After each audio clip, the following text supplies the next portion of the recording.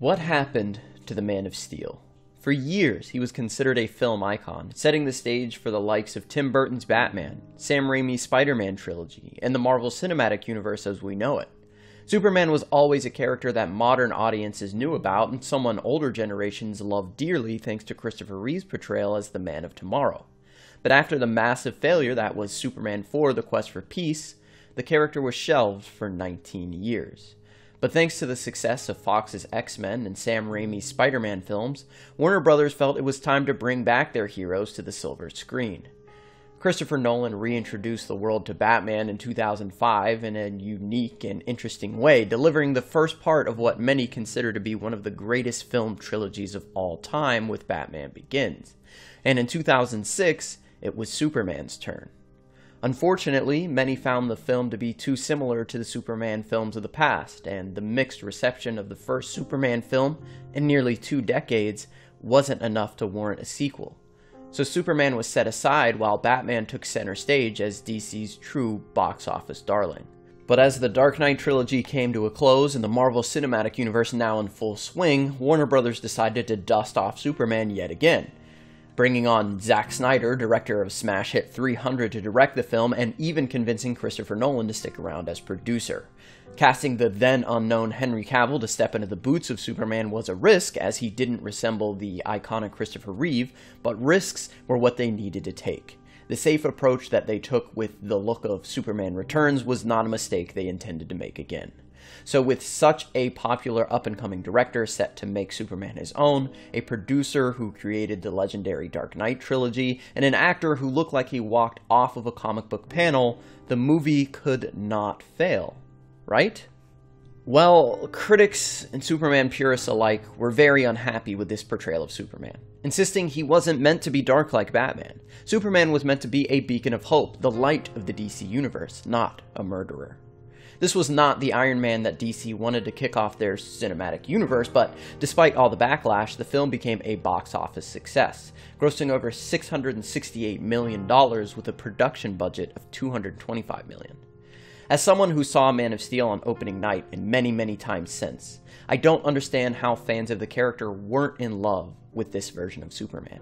Calling Henry's portrayal dark and emotionless, calling the direction of Zack Snyder flat and uninspired, making the claim that the script penned by David S. Goyer was bloated and uninteresting. If you're one of these people, I respect your opinion, but I believe most of the people who think this have only seen the film once or twice and then just hopped on the anti Man of Steel bandwagon and never looked back. What I don't think these people understand is this film is about Clark's journey and becoming Superman.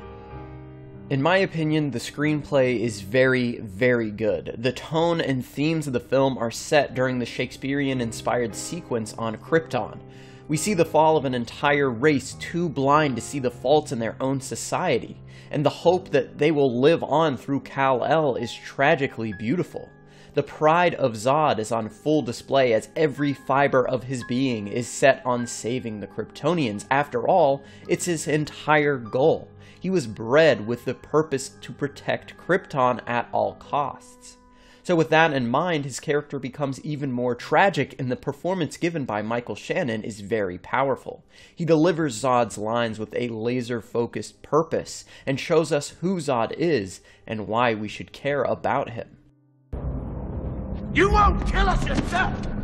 You wouldn't sully your hands, but you'll damn us to a black hole for eternity! Jor-El was right. You're a pack of fools, every last one of you. Not only are the themes of hope and sacrifice established early on during this opening sequence, but what Zack Snyder is able to accomplish with Krypton is stunning. The amount of detail that went into the design of the world is wholly unique, and the visual storytelling done by Snyder and cinematographer Amir Mokri is amazing.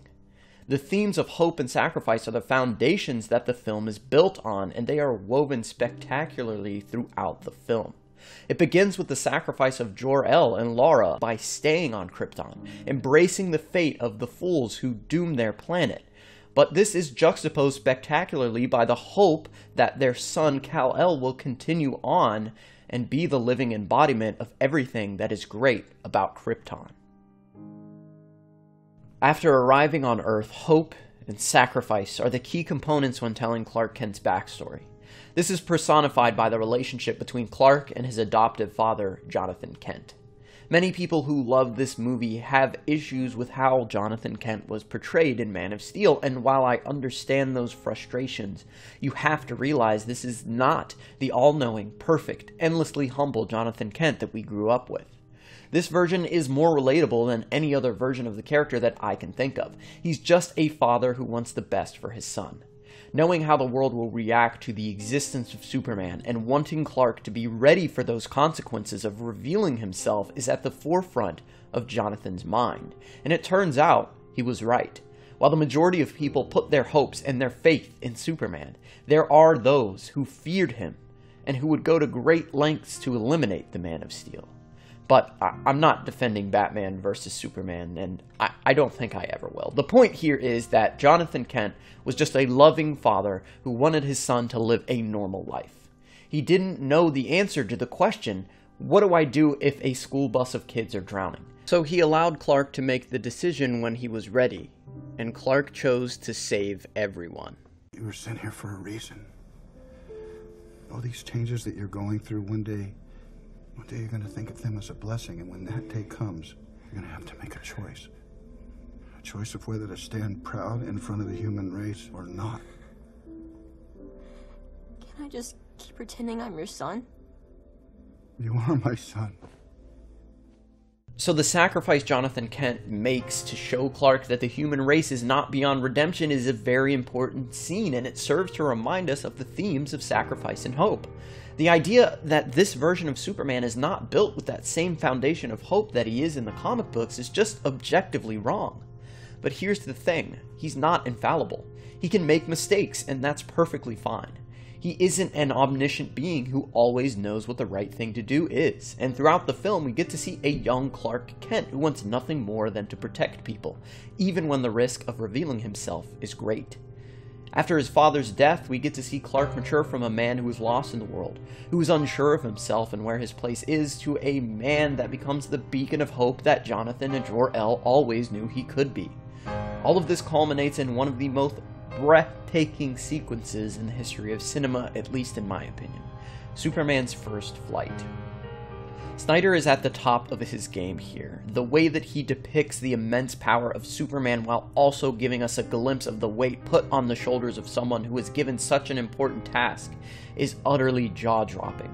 With the words of Jor-El in the back of his mind, Clark makes his decision to become Superman, the embodiment of hope that the world so desperately needs. After the return of Zod and his followers, we get into the territory where people who don't like the film really start speaking up. And I'd like to get this out of the way as soon as possible. The idea that Superman doesn't save people is just ridiculous. He surrenders himself to Zod so no harm will come to the people of Earth. And after learning Zod's plan, Superman makes the decision to let Krypton die so humanity can be saved, making a sacrifice for the hope of the future. So let me say it again. Superman saves the entire human race in this movie. He flies across the planet to stop the world engine and then flies back to face Zod, whose entire goal is to end all life on Earth so Krypton could be reborn. One question you'll hear a lot of people bring up when discussing this film is why didn't Superman do more to prevent the destruction of Smallville and Metropolis? Why didn't he do more to save innocent bystanders? Well, here's the thing. Superman was doing everything in his power to stop these alien invaders, and anytime a chance came about to save just one or two people, he took that opportunity. But this isn't the Superman that's in his prime that we see in the comic books. The movie tells us this multiple times, and people still ignore it. You are weak, son of El. Unsure of yourself. The fact that you possess a sense of morality, and we do not, gives us an evolutionary advantage. Clark was fighting off the Sword of Ra followers, soldiers who were literally bred to be warriors, given DNA to make them faster and stronger than any other Kryptonian, trained for years to become living weapons, and you're complaining because Superman wasn't able to casually force Zod to fight him in space.